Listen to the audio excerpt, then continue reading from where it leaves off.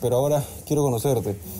Si bien nos hemos cruzado ayer y hoy día estamos... ¿Ayer o antes de ayer? No, eh, antes de ayer. Antes de ayer fue. Antes de ayer. Sí, te, te vi por Miraflores y te pregunté, oye, me pareció súper chévere tu vibra, porque mucha gente, al menos no sé cuánta gente conozcas tú, si es como que un poco reservada. Tú no eres reservado. No, yo soy como soy. ¿Cómo eres tú? Así, soy amigable, soy tranquila, me gusta socializar. ¿Tienes muchos amigos? Sí, ¿e- ¿Estudias algo? sí estoy estudiando, Ah, pero así, como tu cara es secreta, mi carrera también. Ah, ok, ok. ¿Cómo así empezaste a hacer contenido? Porque ya llevas años. Sí, bueno, yo empecé cuando tenía 14, 15 años como jugando. Miércoles. Pero como jugando cualquiera no tiene una cámara, sabe grabar, editar. No, no, eh, lo hacía con mi celular. Hasta ahora lo hago con mi celular. Tengo una cámara, pero no la uso para nada, la verdad. ¿Y antes hacías Vines o No, eh, hacía sketches en qué aplicación? en Facebook Wow. y en Instagram. ¿De O qué sea, año me estás hablando? 2016, 17 por ahí. Ok. Pero también hacía bromas en la calle, solamente que eso ya no lo hacía tipo como ahorita, que me lo tomo en serio y digo como que voy a ir y voy a hacer este contenido, sino que lo hacía por aburrida, estaba con mis amigos caminando por la calle y de la nada decía, mira, ahí está Yepeto y grababa y lo subía a Snapchat. Y ahí como que normalmente en Snapchat sí tenía un buen alcance para la época que era. Y en mi época tuve mis 10.000 seguidores cuando era muy difícil conseguir esa cantidad. Ahorita 10.000 seguidores. ¿Cuántos años tenías cuando llegaste a los 10.000? 15. 15 años con 10.000 seguidores. Sí. En Vine, no, en, En Snapchat. Instagram. Instagram. Miércoles. ¿Y es la misma cuenta que tienes ahorita? Sí. Miércoles. Y luego dejaste de hacer contenido. Dejé de hacer contenido porque pasé por un... Bueno, primero fue porque vino la pandemia La pandemia. y luego me mudé a Chile. Y en Chile no conocía a nadie, no, no nada. No te, no hiciste contenido ya. No hice contenido allá, más disfruté de la experiencia. Ok. Y cuando vine, como que fue un cambio muy, muy repentino porque no fue como que estoy en Chile y digo, ya sí, este, en un mes voy a regresar a vivir a Perú. Fue como que en dos semanas tenemos que regresar a Perú, así que hay que vender todo lo que tenemos y regresar ya. Ok. porque mi padrastro trabaja en, en una empresa y la empresa vino a Perú. Entonces la empresa le dijo, necesito que estés ya allá para abrir de nuevo la, la empresa y que tú la dirijas. ¿Tú? No, no, yo no, o sea, mi padrastro. Ah, ya, ok, ok. Entonces fue un cambio muy repentino y cuando llegué aquí eh, me dio agorafobia. ¿Sabes lo que Agorafobia. Hace poco la busqué. Espérate, agorafobia. No, no la saco, no, me agarraste. Me dio agorafobia, que es como que... Ya, ya, ¿el miedo a los extranjeros creo que era? No, No, no, me bien. Ya, eso miedo a los extranjeros, no. Es como que miedo al miedo, miedo a, a Miedo todo. al miedo. Yo no salía de mi casa para nada. Miedo o sea, para nada. No me podía ni parar de mi cama, si te la pongo. Me cagaste, miedo al miedo. Miedo al Miedo.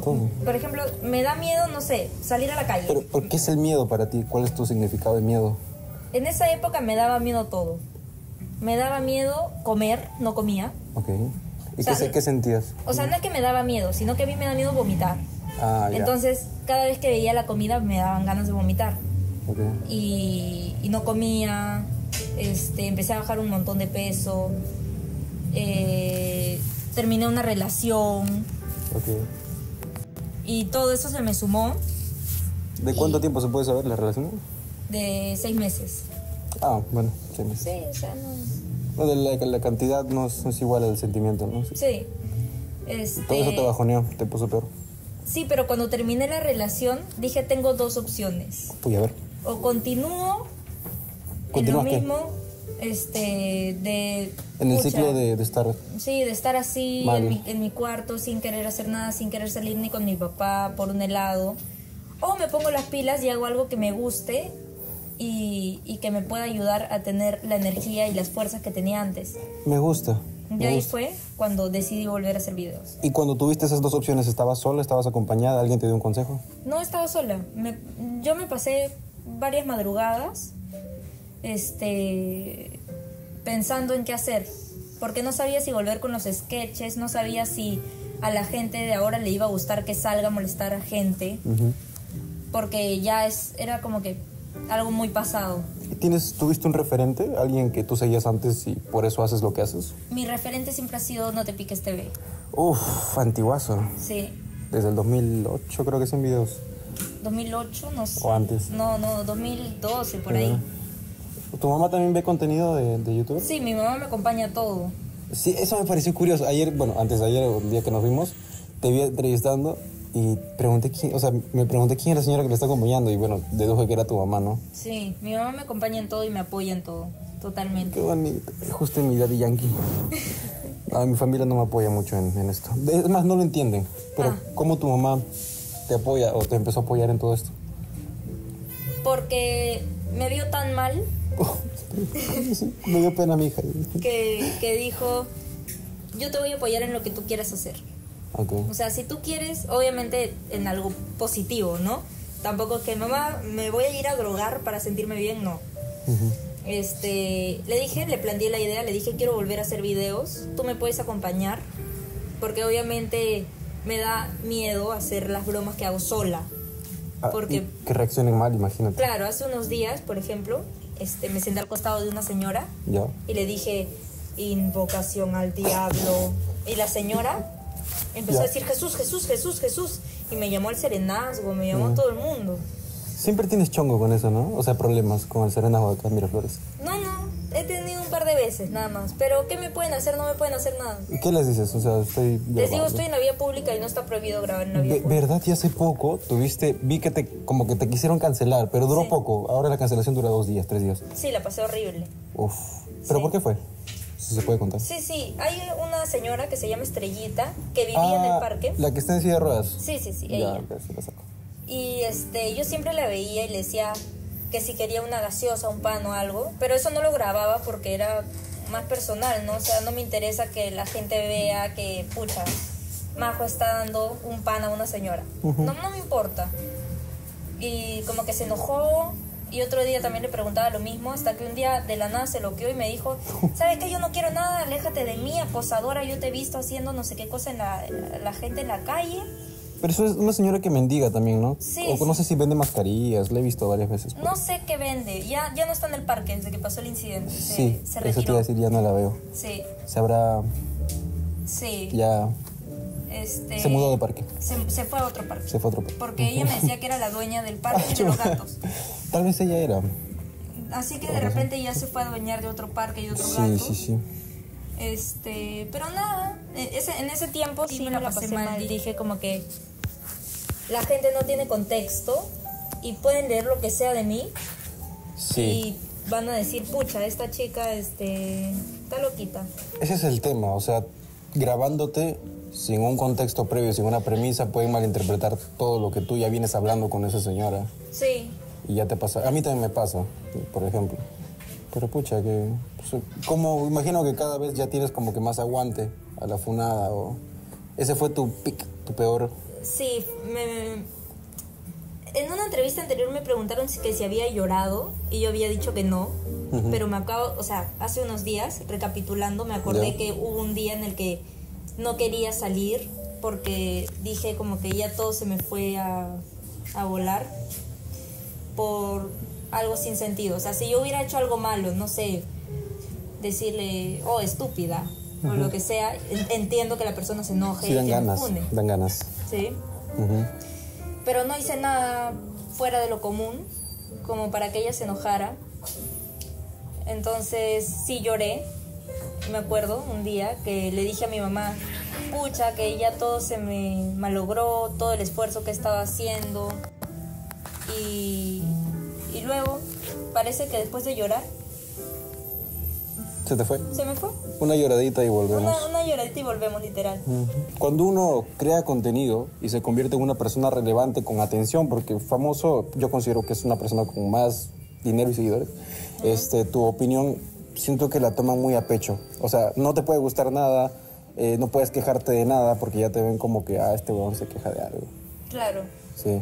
Y, y la gente te golpea, te golpea feo. ¿Y cómo llevas el hate? ¿Lees los comentarios? Sí, ¿Te yo- defiendes, los respondes, los eliminas? La verdad yo leo todos los comentarios todos, o sea, no hay un comentario que no haya leído. Pero son muchos. Sí, pero yo me tomo el tiempo de leerlos todos. En un video de un millón mínimo seis mil, diez mil comentarios. Sí, pero yo me tomo el tiempo de leer todos, o, o la mayoría, Ajá. para ver opiniones. A veces algunos piensan que tengo algún problema.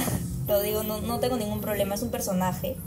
Ah, Ahorita- eres un ahorita estás en personaje. No, ahorita no soy un personaje. Ay, Ahorita te estoy hablando como yo. como Majo. Como, como, como, como, como, como yo. como tú. No te estoy hablando con el personaje que es creado una vez que empiezo a grabar. Este, obviamente yo soy una persona mucho más tranquila de lo que realmente aparento ser. Fuera de cámaras, ¿cómo eres? Soy una persona normal. O sea, me gusta ¿Qué es lo normal para ti? Estar con mis papás, con mi familia, eh, con mi pareja. Ah, ¿tienes pareja? Sí. Ah. Este. ¿Y tu pareja te apoya? ¿Cómo ve el tema de creación de contenido? Si es que se puede hablar de eso. Si no, sí, lo corto sí. ya, ¿no? No, no. Sí, sí me apoya, me apoya bastante, la verdad. Este, y también ha sabido entender eh, ciertos problemas que he tenido. ¿También es creador de contenido o creador? No sé. Este, no, no es creador de contenido. Ah, ok. Hace poco hice esa pregunta a unos amigos, porque a veces nos juntamos para comer así. Ajá. Y le pregunté, oye, ¿tú crees que yo que soy creador de contenido deba, debería estar con alguien que crea contenido? Y me dijeron, sí, porque una persona que no se dedica a esto no te va a entender. Y yo, mm, bueno, mm, no sé, la verdad. Porque la persona que te quiere te va a saber entender tu, tu, tu- tus, ¿cómo sería? Tu, tu horario, tu... Porque no tenemos horario. Claro. Ese es el tema. ¿Tú puedes- has salido en la noche así a entrevistar o solamente tarde? ¿Tienes una... ¿Cómo te organizas Lo en creación de bueno de mi pareja es que él, este, siempre está como que en buena onda y entiende, aunque no sea creador de contenido, me apoya. ¿Era seguidor? No, no era Ah, seguidor. O sea, veía mis videos. Pero no... Pero no, que le, le este- salía así. Eh, no, sí le daban risa. Ah, ok. Nos conocimos justamente por una amiga que se llama Daniela de Lucky. No ah, sí si la saco. conoces, sí la conozco, sí la conozco. Nos presentó. Me dijo, oye, a este pata le gustan tus videos, que no sé qué cosa. y justo me mandó un DM que decía, este, oye, he visto que estás soltera. Directo, así directo. sí, sí, yo me lo tomé a chiste. Le, dice- le dije, sí, soy una soltera codiciada. ¿Tu, público es más masculino o femenino? Mezcladito, Ok. más mezcladito. El mío es más masculino, por ejemplo. ¿Sí? Sí, no me ven muchas mujeres. Ajá. A ti sí te salió el contenido. A mí, mm, es que no me he puesto a fijar mucho, pero he visto que le gustan a ambos géneros. Ok. Mm. ¿Qué ibas a decir antes?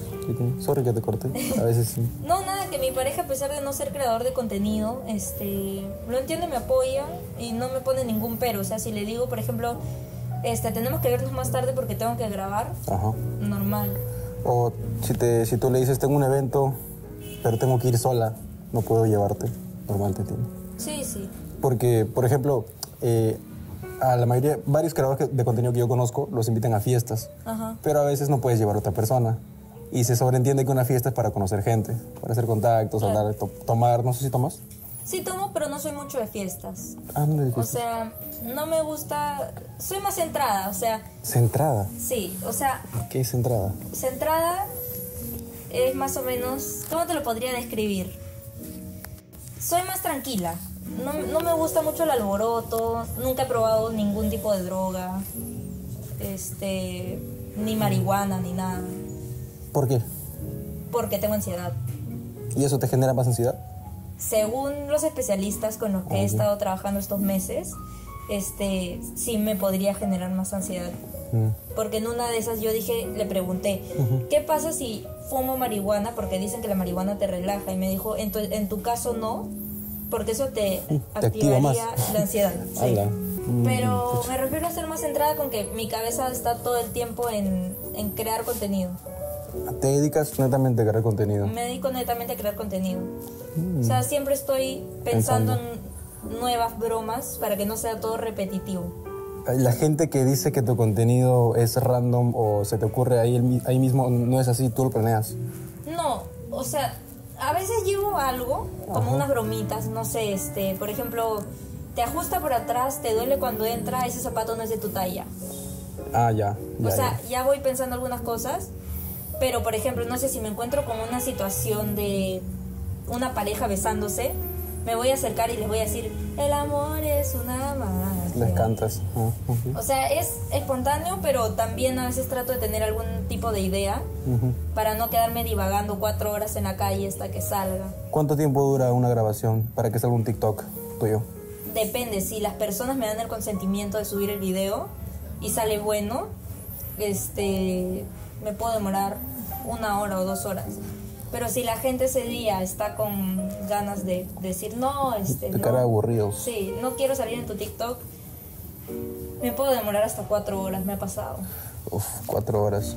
Y tu mamá caminando contigo cuatro horas. Sí. Ok. ¿Cómo ves? O sea, tu contenido es entretenimiento, comedia. ¿Te gusta la comedia? Sí, me gusta la comedia, pero yo siento que no hay cómo describir mi contenido. Porque te puedo salir con cualquier cosa. O- sea, cualquier cosa, como cualquier broma o haciendo cualquier cosa. No, con cualquier broma.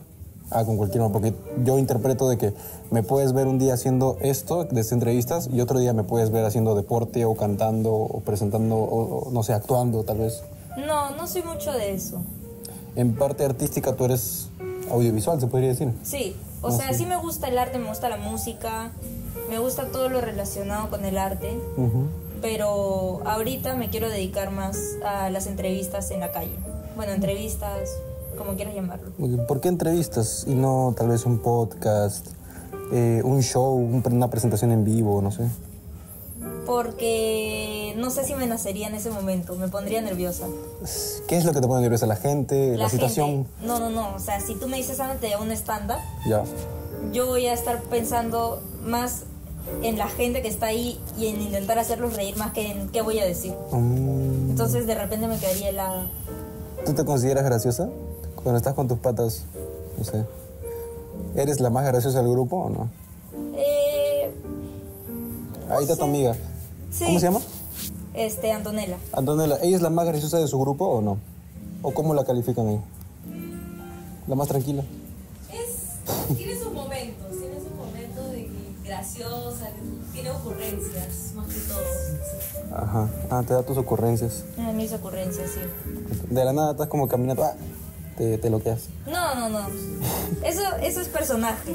Ajá. Ah, no, yo, yo, yo, por ejemplo, sí, o sea, yo actúo tranquilo en las entrevistas, pero en realidad soy, no sé si se podría decir hiperactivo, pero sí me gusta como que, no me gusta lo convencional, lo normal. ¿Hay alguna pregunta que quisieras que te hagan y nunca te han hecho? ¿Tuviste una entrevista? ¿Qué no te han preguntado y te quedaste con ganas de responder? No sé, yo estoy abierta a cualquier tipo de pregunta, la verdad. Si me quieres preguntar algo, no importa que esté mi mamá, tú pregunta nomás. El- los videos que, que te han salido de, de mi canal, ¿Ya? ¿cuáles, ¿cuáles te han salido? Ya también llevo casi un año haciendo contenido. Me han salido varios. ¿Cuál es el que más recuerdas? Uno que hiciste con Mafe Sin R. Ah, Mafe sin R, en la U de Lima. Sí, no sé si fue en la U de Lima, pero ahí fue cuando dije, no, se pasó. ¿Ella o yo? con la Tú, pregunta. tú, tú. Ah, con la pregunta. Sí. Eh, ¿Prefieres la homofobia o gordofobia? Sí. ¿Tienes alguna opinión sobre la gordofobia y la homofobia? Eh, ¿Apoyas a la comunidad? ¿No la apoyas? apoyo a la comunidad, sí, obvio. Eh, pero me parece que los dos son discriminación. Sí, los dos son discriminación. Entonces no prefiero ninguno. Prefiero que todo el mundo viva y sea feliz de la manera en la que quiera ser feliz y expresarse de la manera en la que quiera expresarse. Esas respuestas no salen.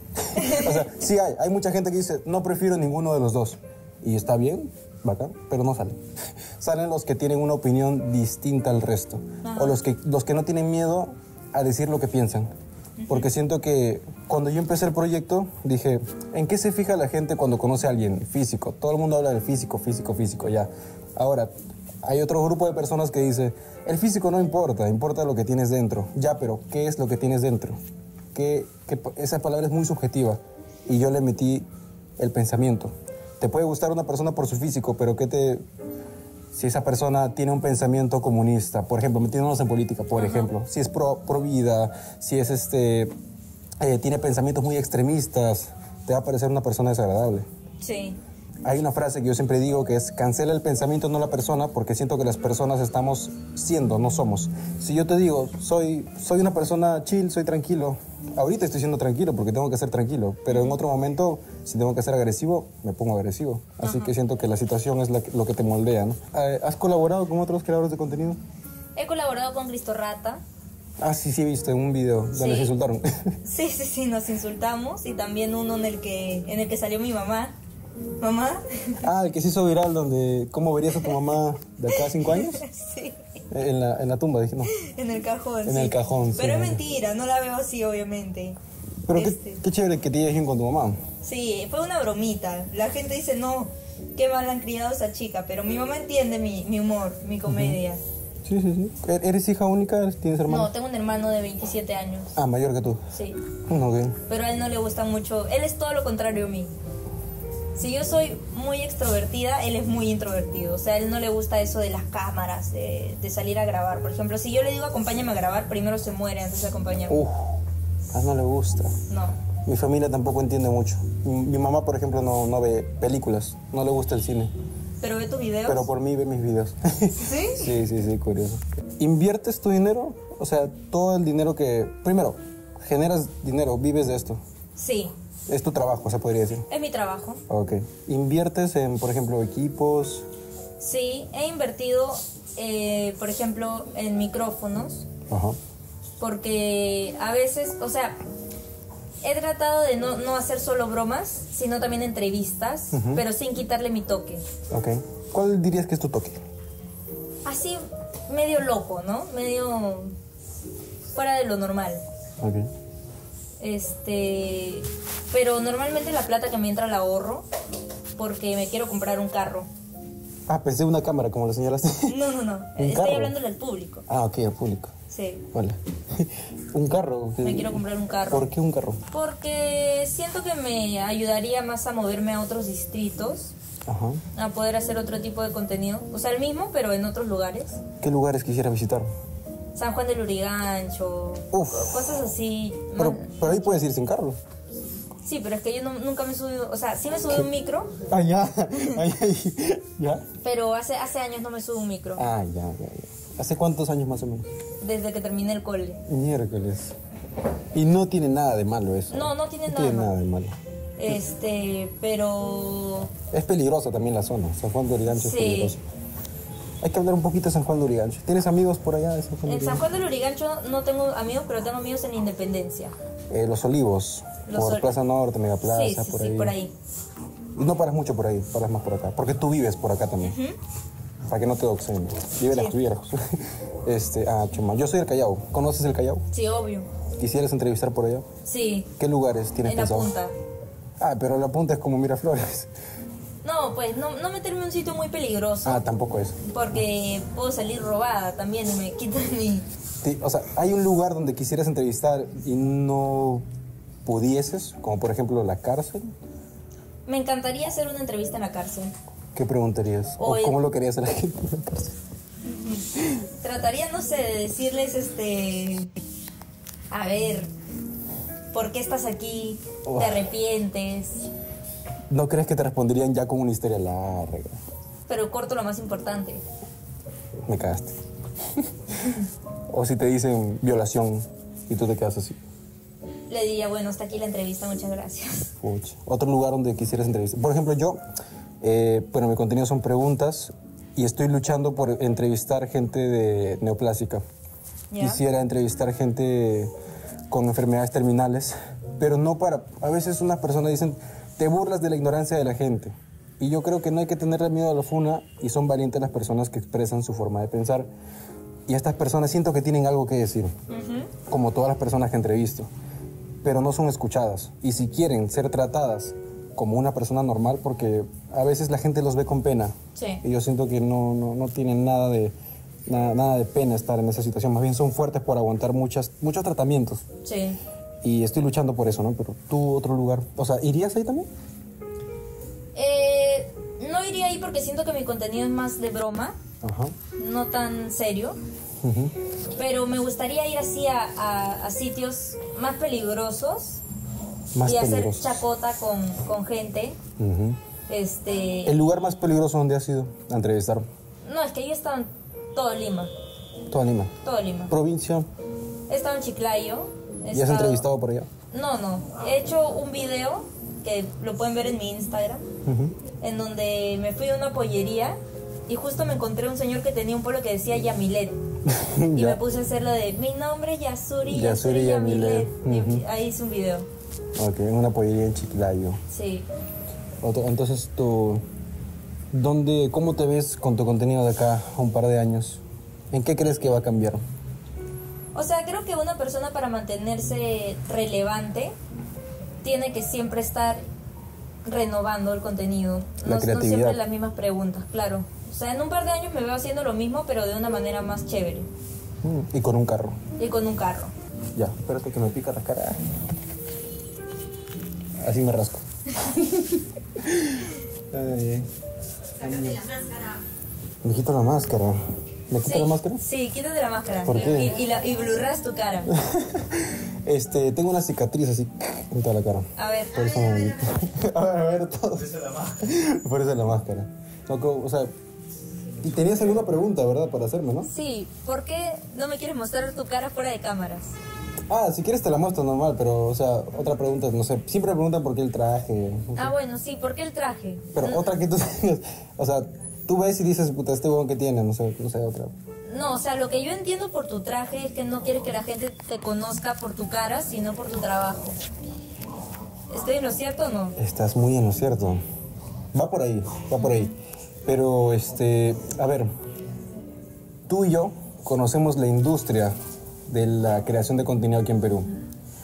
Y en Perú considero que todavía estamos en pañales en el sentido sociológico por el color de piel, el apellido, tu forma física y de dónde vienes. Y bueno, contactos, ¿no?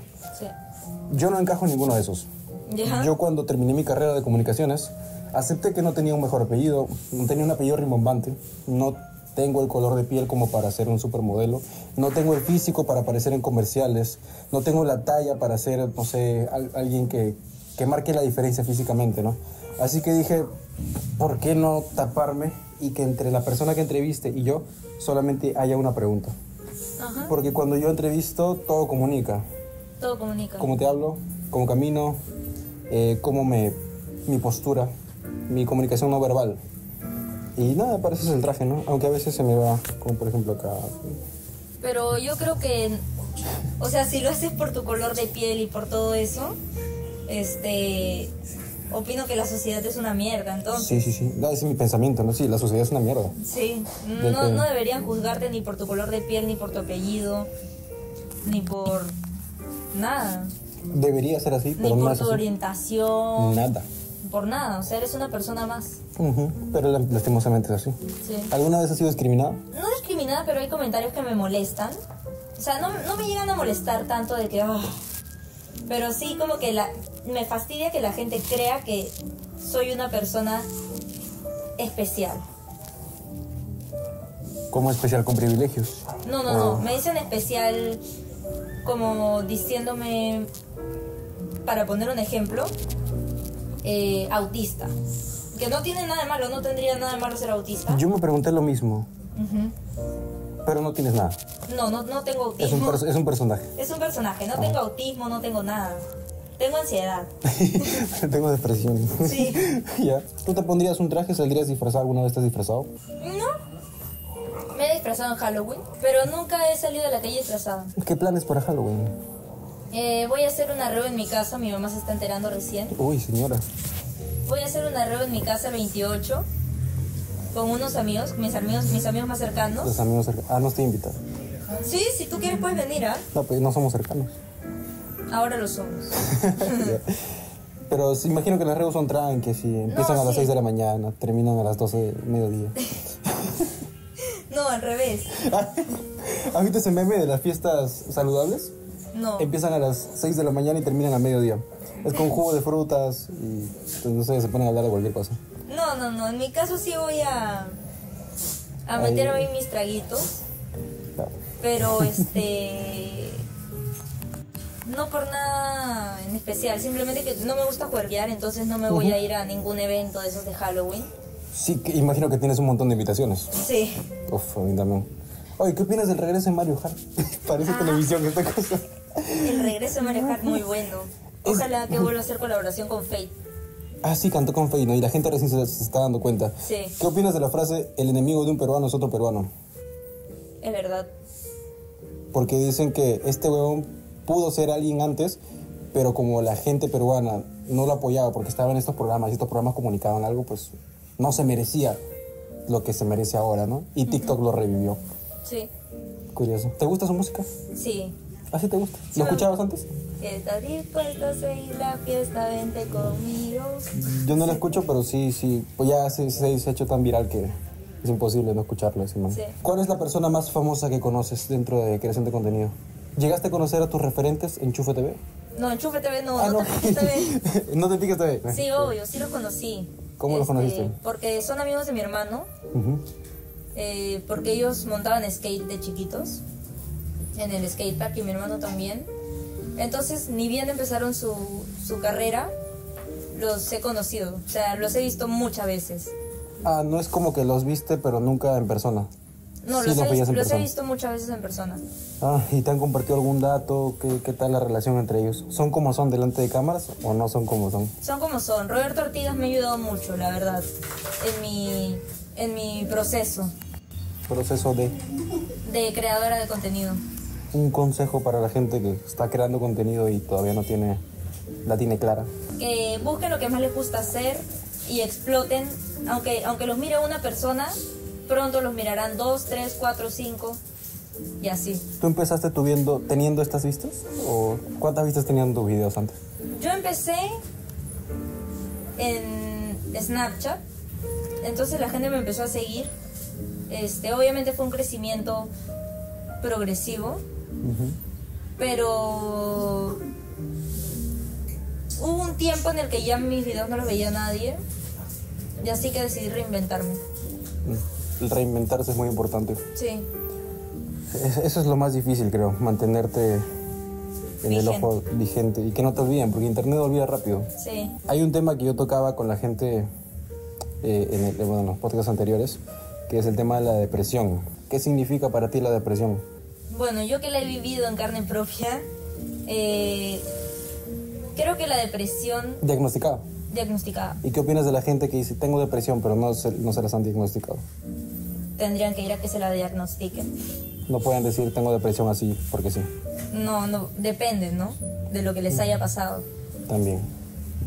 ¿Y qué tal tu Este, experiencia? ¿Ya no tienes depresión o estás trabajando en eso? Estoy trabajando en eso. Eh, creo que la depresión en el momento, en el peor momento, fue lo peor que me pudo pasar, pero ahora saliendo de eso con otro pensamiento, siento que fue lo que me impulsó a cambiar. ¿Qué es lo que te ayudó? Eh, me, como que este año maté a la persona, no maté a nadie, maté, maté a la persona que estaba dentro mío y me reinventé, gracias a la depresión. O sea, también te ayudó, te impulsó. Sí. Mm. Ahorita ya no tengo depresión, o sea, hace mucho tiempo que ya no me siento deprimida. Este, ¿Cómo sabes cuando te sientes deprimida? No sé. Porque no me dan ganas de hacer nada, tengo ganas de estar en mi cama llorando. La depresión no es completamente estar triste. No, la depresión es en su momento lo peor que me pudo pasar, Pero a la vez lo mejor que me pudo pasar. Me gusta, me gusta el positivismo que tienes. No sé si quieres responder esto. A ver, ¿Alguna vez has tenido un problema de suicidio? mm, a ver, mamá, ¿respondo o no respondo? ¿Sí? ¿Sí? Ya. Voy a responder este solamente para que la gente vea que de todo se puede salir. Si yo puedo salir, tú también. Hubo un tiempo eh, de este año, Este año, 2023. antes de, de empezar con los videos de nuevo, Ajá. en el que tuve un día en el que me cansé de sentirme como me estaba sintiendo y me encerré en mi cuarto, tuve una discusión previa con mi mamá, me encerré en mi cuarto y le escribí diciéndole que me iba a tomar todas las pastillas y yo vivo en un piso 9 y le dije que me iba a tirar del piso 9. Eh, ese día eh, me encerré en mi cuarto, nadie podía entrar, mi hermano quería tumbar la puerta y mi mamá estaba desesperada afuera, obviamente. Y llamaron a mi papá y estuve con mi papá conversando, dialogando, diciéndome que, que no haga nada de lo que luego me pueda arrepentir. Y menos mal no me tomé ninguna pastilla ni me aventé, por eso estoy aquí. Pero ese día me llevaron a la clínica y pude este, tener un diagnóstico que fue ansiedad generalizada con depresión mixta. Para los que no conocen mucho el término, ah, bueno, así se dice. Ansiedad generalizada es que ahorita puedo estar conversando contigo y me puede dar un ataque de pánico por algo que me acordé. Oh, pero lo superaste. Lo superé. Con medicamentos también. Con medicamentos, sí. Y gracias a la ayuda de mis papás, de mi mamá, que muchas noches se las pasó conmigo porque no podía dormir, no podía comer, o sea, prácticamente yo ya me había abandonado. Mm. tú para No, tú ponte acá en el medio. Le doy miedo. Sí. Así le doy miedo, ¿verdad? Este es de la peste negra. sí. Con la historia que acaba de contar Majo, este, como mamá, como mamá, ¿cómo se sintió? Mira, lo que pasa es que yo ya veía a Majo que estaba en un cuadro depresivo. Estaba trabajando con ella, ayudándola, bueno, con profesionales también al lado y cada día veía que la ansiedad se estaba apoderando más de ella. Entonces me preocupaba y a la vez me sentía impotente de no poder hacer más, ¿no? O sea, como mamá de cuerpo y alma con mi hija, ayudándola, si no podía dormir me quedaba con ella despierta toda la noche, o sea, tú sabes, una mamá siempre es incondicional, ¿no? Pero hay ratos en los que quisieras hacer más por ver a tu hijo bien, ¿no? Entonces, eh, creo que ese incidente marcó un antes y un después en la vida de Majo y en la vida de todos nosotros, ¿no? Porque llegar a ese, a ese momento eh, fue como, como el detonante y decir, ya no más, o sea, hasta aquí ya este es el límite y después de esto, o sea, tiene que haber una solución ya, ¿Qué es, ¿Qué es lo más duro de ser mamá? No de majo, sino de ser mamá. De ser mamá. Lo más duro de ser mamá es eh, ver a tus hijos sufrir. Yo lo que más quiero en la vida es que mis hijos sean felices, verlos desarrollados, verlos tranquilos y haciendo lo que les gusta. Haciendo lo que les gusta. O sea, he visto muchas eh, mamás, por ejemplo, que se desesperan por el tema de que el hijo sea el primero de la clase, sea el destacado, uy, ganó un premio, mira, trajo una diploma. No digo que con esto que eso esté mal, pero lo que digo es que tus hijos siempre van a llevar una corona, siempre van a tener una medalla, sea cual fuere la actividad que ellos estén haciendo. O sea, hay chicos que no van a la universidad porque simplemente no es su camino a la universidad. Pero mm, lo que siempre les he dicho a mis hijos es, en lo que hagan, sean los mejores. Eso es lo que, me, lo que a lo que yo voy, ¿no? Y, y que sean felices. Que sean felices, eso es lo más importante. ¿Has visto ese, ese meme de chico está a punto de suicidarse y policía lo detiene con un disparo? no. Ironías de la vida. ¿Qué tan sincera es la gente del medio influencer? No es muy sincera. O sea, yo trato de no relacionar mi círculo con, con influencers. Porque cuando lo he hecho no me ha ido muy bien. ¿Qué dirías que, que rechazas de, del comportamiento de ellos? O sea, no digo que todos sean así, pero tú no. pero me ha tocado, no voy a decir nombres, me ha tocado juntarme con, grupos de influencers que en redes son una cosa, pero cuando los conoces son otra totalmente distinta. Por, ejemplo, rajan entre ellos de, no sé, no voy a decir nombres, de Pepito y Anita. En redes sociales son amigos, pero después Pepito empieza a decir, Sí, que Juanita se está ganando toda la fama por mí. Se supone que el hecho de ser un influencer es apoyarse entre todos y crear una comunidad para crecer entre todos. ¿Qué piensas de la comunidad YouTube Perú? O bueno, YouTube, TikTok, Twitch Perú. Mm, no he tenido el gusto de conocer a, a los que están vigentes ahorita. ¿Quién- ¿Quiénes son tus referentes ahorita? ¿Quién más o menos sigues o te sale por ahí y ves? Este. Ahorita no tengo ningún referente. O sea, en el que diga, ah, voy a hacer mi contenido a base de esto. No. Pero veo mucho el contenido de TikTokers. Por ejemplo, Juanda, ¿lo conoces? Juanda, sí, eh, colombiano. Colombiano. También estoy siguiendo una chica que se llama Sofía Fierro. Vayan a seguirla porque hace unos story times muy chéveres. Me suena, me suena. Es, es colombiana también. Me suena, creo que sí la saco. Sofía Fierro. que- Perú, Perú. Perú. He visto unos cuantos videos de Cristo Rata. Eh, Hablando huevadas, hablando huevadas. ¿te gusta mucho? Sí, ¿Qué he ido a su, a su show la vez pasada. Vas a salir el domingo, imagino. No, no, no. Ah, solo las fotos, se tomaron las fotos. Sí, ya. sí. No. Mi participación no salió porque cometí un pequeño error. No, la ansiedad. No, no, no. ¿No? Este, me puse a hablar de más. Ah, ok, ok. ¿Tú eres de hablar mucho? Eh, ¿O qué te preguntaron? ¿Se puede saber? no me preguntaron. Lo publico el sábado antes de hablando huevadas. Conté una anécdota. Acá cuéntala toda. Yo- No, no, yo- la, no, la, no la puedo contar. Pero. mi mamá me Ah. mata si la cuento. Ah, es de ella. Sí, sí, mamá. Es Ah, ok, sobre ok. mi mamá, entonces. Eh, menos mal no salió, le quiero agradecer de corazón a los de Hablando Huevadas Ok, ok. por no haber puesto ese clip, porque si no hubiera estado en serios problemas. ¿Cómo te llevas con la fama, la atención, que te pidan fotos, que te reconozcan, te gusta, no te gusta? Sí me gusta, nunca he negado una foto y espero nunca negarla. Si es que la niego sería por un tema mayor. Nunca has ¿Cómo? negado una foto, segura. Mm, segura. Nadie va a comentarme de una foto. Nadie va a comentar a no ser que sea por molestar. ah, o sea, ah, ya, yo pensé que tú me lo estabas diciendo. Yo sí digo, oye, ¿nos podemos tomar foto? No quiero. Oye, de verdad, ya, mentira, mentira. No, Pero siempre he querido hacer eso, pero me da miedo que la gente se lo tome a mal y luego se queden con esa imagen. me ha pasado una vez eh, de que le dije no y se fue corriendo. Y yo, ay, era mentira. Pero que es, es curioso. Pero bueno, sin el traje no me reconocen, ¿no? Claro. Mejor. Esa es la ventaja que tengo.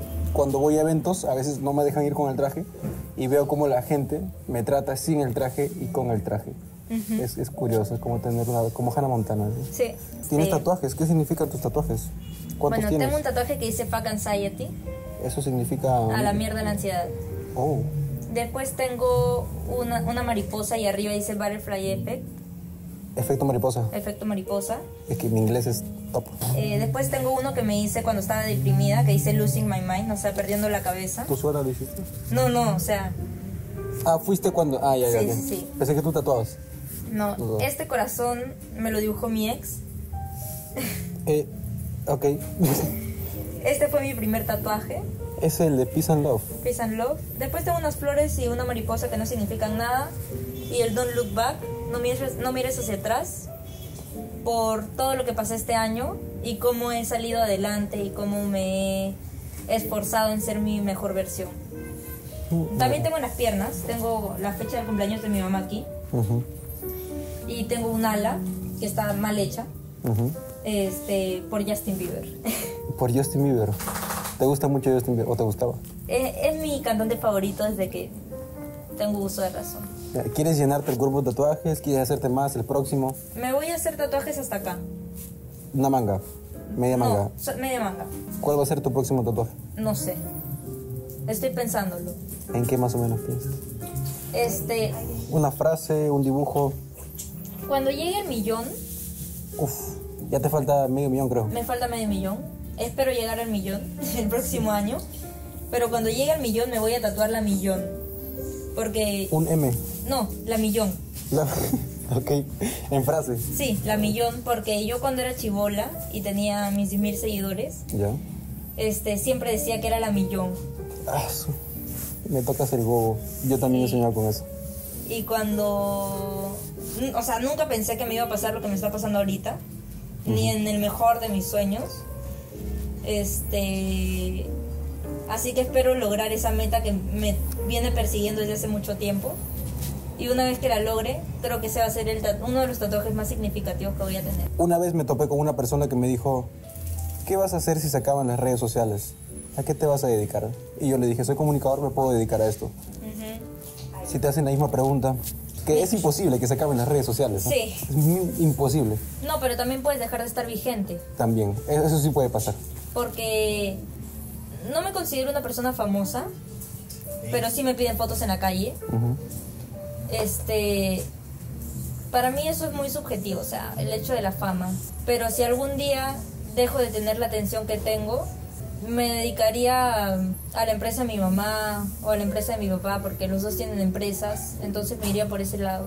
Me metería a estudiar algo que tenga que ver con las empresas, aunque no es lo que me gusta, pero con eso podría Pues, vivir. vivir. Ok. Muchas gracias por haber venido a la entrevista. Gracias por haberme invitado. No he visto tu contenido, me, me agrada. Te investigué un poco, vi tus videos en YouTube.